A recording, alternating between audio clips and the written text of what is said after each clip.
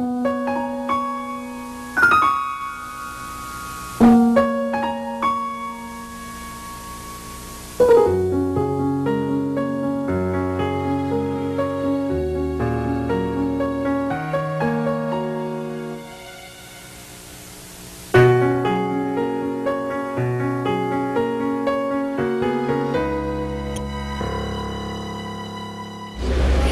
my name is Dorothy. I'm 21 this year and I have a story to share with you guys.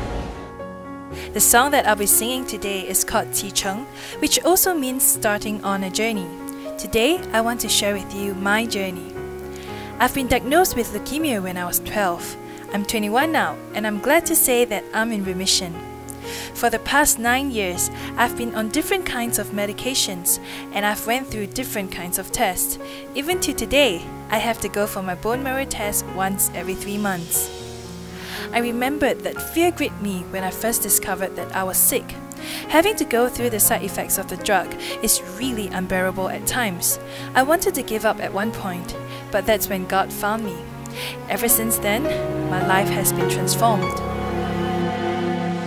I became a Christian when I was 13. My journey with God has been a bumpy one. Life was never easy, but He taught me how to stand up whenever I fall, because He is always there to give me strength and comfort. Well, being sick wasn't easy. I had to miss school and PE lessons. I can hardly go out for outdoor activities during my teenage years. But I'm thankful that I have supportive friends, teachers, and most importantly, family members. You see, I came from a family of four my dad, my mom, and my brother. They have always been my pillar of support. But in the year of 2005, a crisis hit our family yet again. My mom, who was a healthy and bubbly lady who enjoys praising God, fell ill. She had a brain hemorrhage and went into the ICU ward for a long time. It was a really difficult time for me. I was still in the midst of transiting from my secondary school to my tertiary school when mom became ill. I had no one to talk to at home, no woman figure to guide me when I needed it the most. I became really bitter. I had to ask the Lord, Isn't it enough that I'm sick in the family? Why did mom have to suffer? I felt that God didn't care for me. But you know what? He did. And I know all this happens for a purpose. For me, I don't have the luxury that most of you have. I was forced to grow up at the age of 12, and when mom became ill, I was forced to be independent.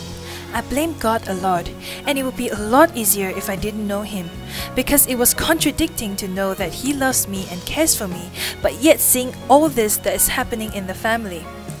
But through the years, God taught me again and again how to stand up and continue to walk on this journey with Him, because He promises to never leave me nor forsake me. I'm standing here today to testify to that. He loves both you and me, my friend, and I've learned through the years that God is the true pillar of support in my life. Without Him, I wouldn't be able to be who I am today, smiling and sharing with you the struggles that I have in my life. God cares for our every single detail, our going out and our coming in. He is a God who makes all things possible. When I lost hope, He gave me hope. I'm glad that my mom is still alive today, and I'm also glad that I'm alive today, because if not, I wouldn't be given the chance to sing you this song. Hope this song, Qi Cheng, will speak to you. Let me read to you my favorite part of the song. 没有人完整，却有人能信任。想到达明天，现在就要启程。只有你能带我走向未来的旅程。想到达明天，现在就要启程。你能让我看见黑夜过去，天开始明亮的过程。